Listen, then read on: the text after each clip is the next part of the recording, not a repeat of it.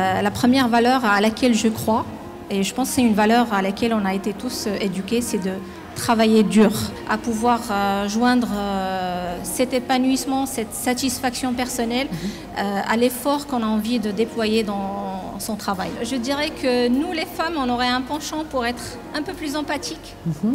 oser le changement, ne craignez pas l'échec. Bienvenue dans Success Conversation. L'objectif de ces vidéos est de vous éclairer, de vous inspirer, de vous aider à réaliser vos rêves et aller vers la meilleure version de vous-même.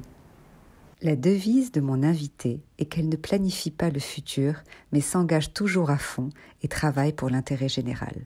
Zahira Bouaouda est diplômée de l'ISKE en 97, puis expert comptable en 2005.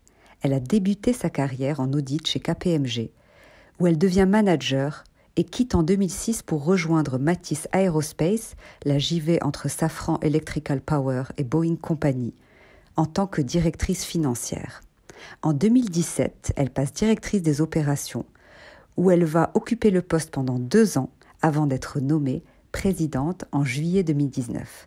Je suis très heureuse d'interviewer aujourd'hui Zahira chez Safran qui nous a invités en l'honneur de la journée de la femme. Zahira, merci beaucoup euh, d'avoir choisi euh, mon émission pour t'exprimer euh, en l'honneur de la journée de la femme. Pour commencer, est-ce que tu peux te présenter personnellement? Bah, merci à toi aussi, Sophia. Donc, tout d'abord, je tiens à te, remercier et aussi à remercier Leila Ben Salah et Daniel Vassi qui m'ont invité pour prendre part à cet grand événement qui célèbre la journée de, la femme. bien sûr, je suis Zahira Bouaouda, j'ai 44 ans. Je suis mariée, je suis mère de, trois enfants, deux garçons de 15-14 et une petite fille de 9 ans. Excellent. Voilà. D'ailleurs, tu m'avais dit euh, en, off que ton mari euh, t'avait soutenu et qu'il avait même été moteur euh, dans le fait de rejoindre la position de, de DAF chez Matisse à l'époque. Tout à fait, parce qu'effectivement, c'est lui qui m'avait donné à l'époque tout le courage pour aller essayer quelque chose de nouveau, un autre métier, dans un autre environnement. Absolument. Et tu es présidente aujourd'hui, donc c'est quand même sympathique de saluer le rôle des hommes et des époux hein, dans le cadre euh, notamment de, la journée de la femme. Tout à fait. Alors, tu as travaillé dur toute ta carrière. Euh, quelles sont les valeurs qui définissent qui tu es aujourd'hui? Ben voilà, tu, l'as dit.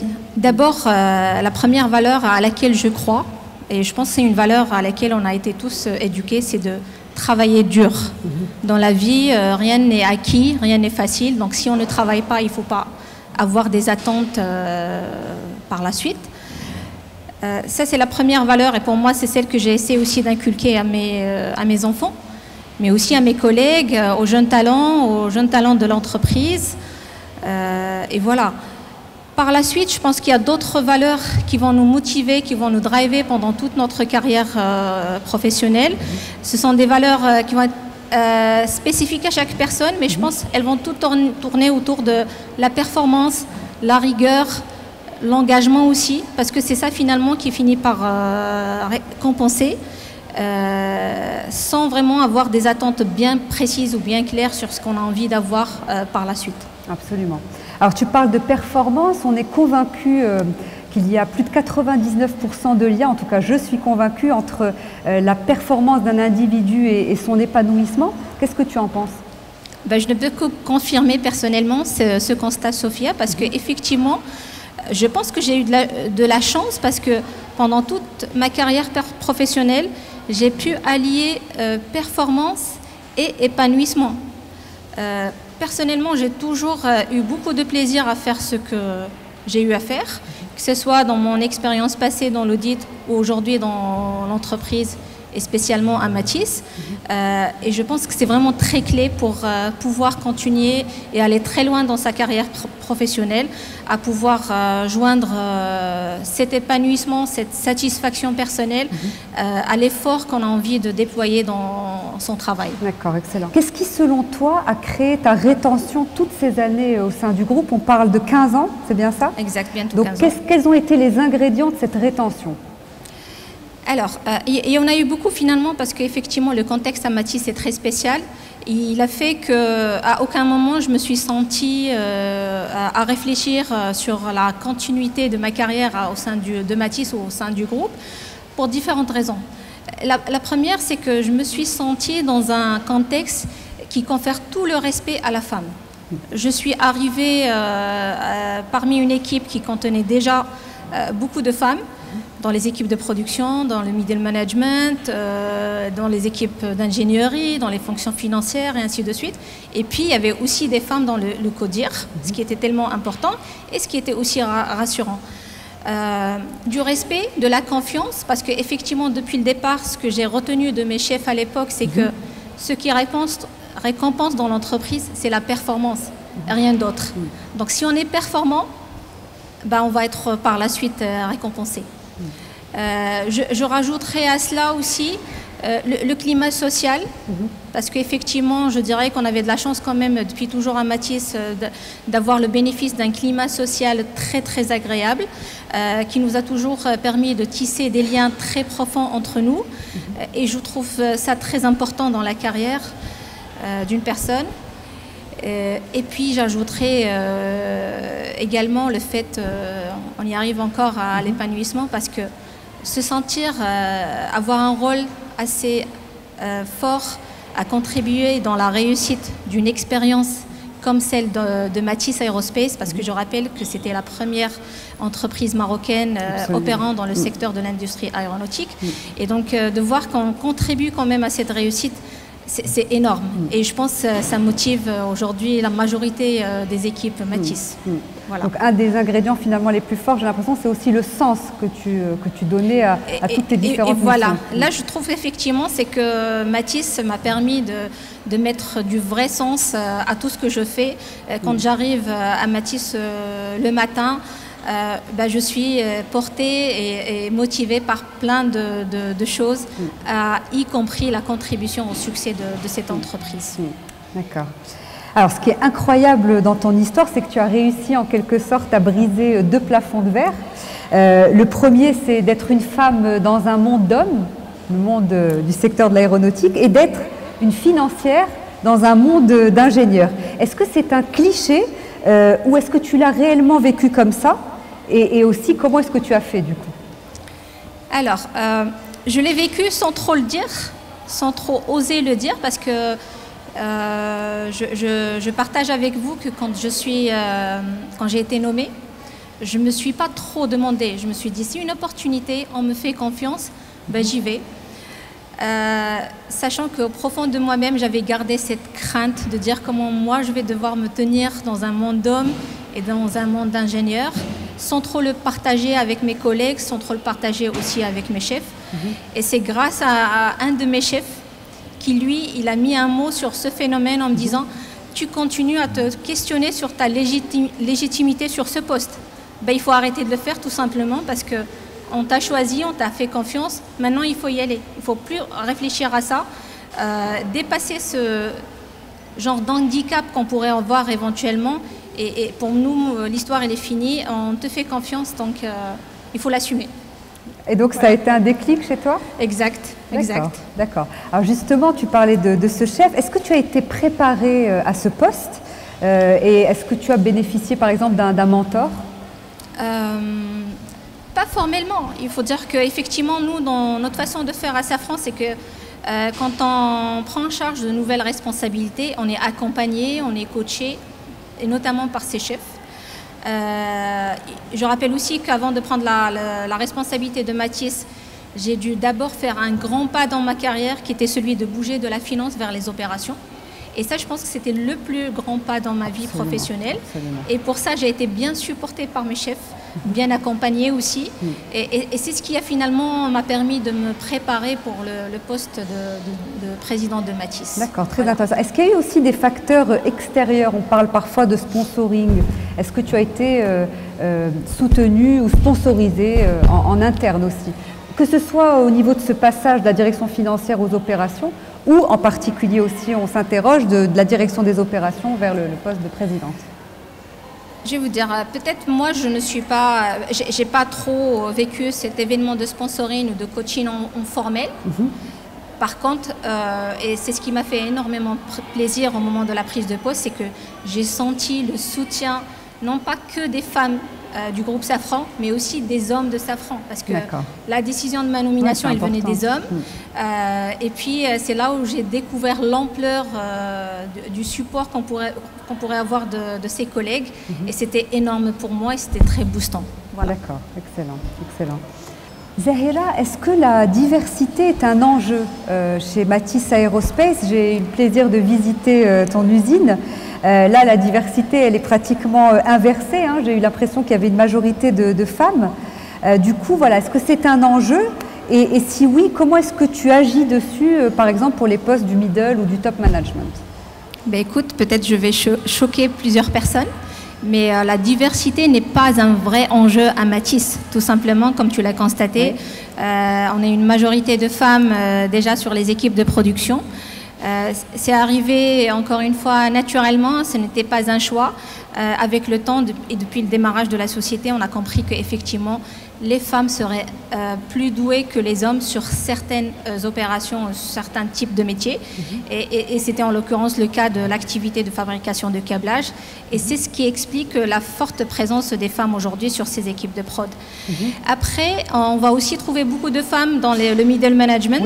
et encore une fois, je trouve aussi que c'est naturel parce que euh, je, rappelle, et, d'ailleurs je, je, me félicite et je félicite aussi euh, tout le groupe Safran mhm. euh, pour sa politique de promotion des compétences internes.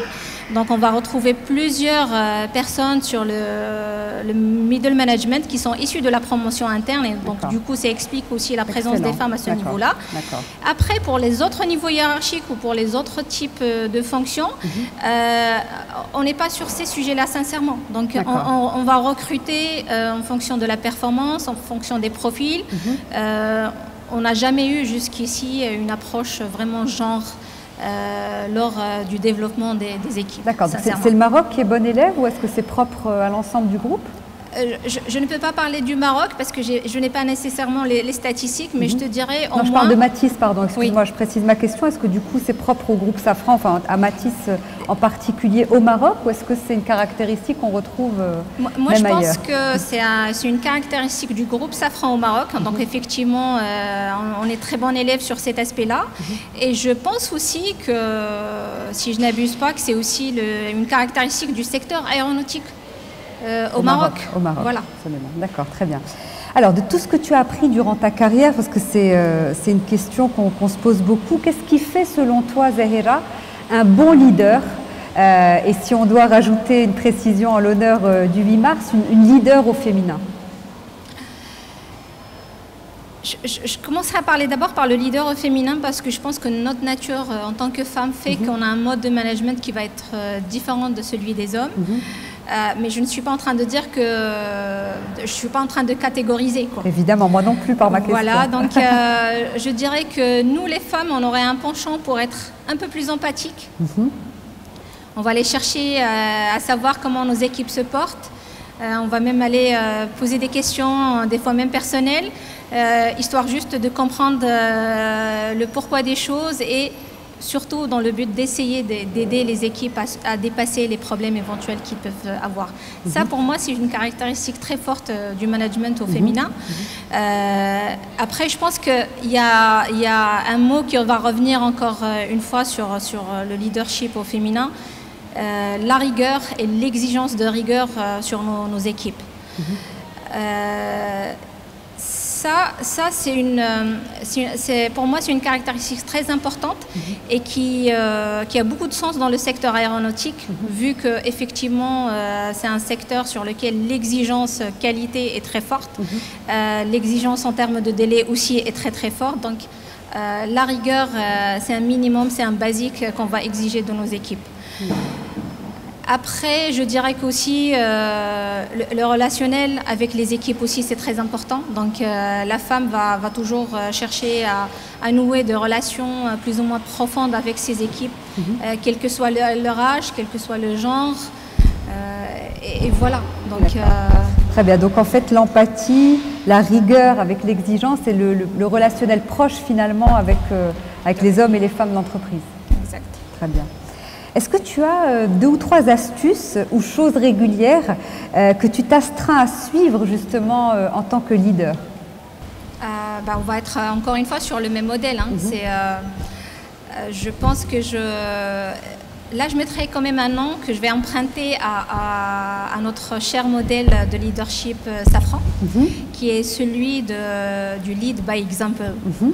Euh, pour moi, c'est quelque chose qui est très présent, euh, en tout cas aujourd'hui, euh, dans mon quotidien. Mhm. je m'impose à, penser à chaque fois que tout petit comportement que je peux avoir dans une situation, dans, un, dans une réunion mhm. ou en tournée dans l'atelier, c'est quelque chose qui compte énormément pour mes équipes et ça va inspirer ou ça va influencer mes équipes. Mhm. Donc faisons attention à ce que nous faisons entre nous et aussi devant les autres voilà, pour moi, c'est un aspect très important. Euh, aujourd'hui, je m'impose énormément euh, de faire attention à, cela. Euh, d'autres aspects aussi, la communication. Mhm.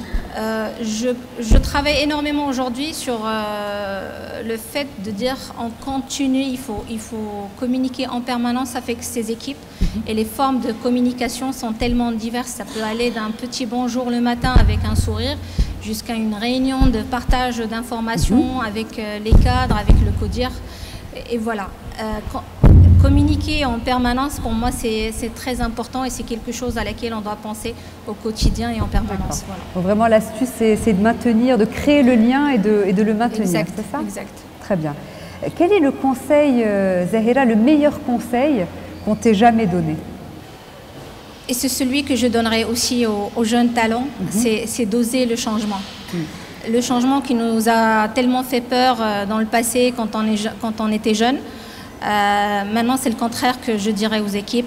Osez le changement, ne craignez pas l'échec, parce qu'in fine, euh, qu'est-ce que ça fait d'avoir échoué?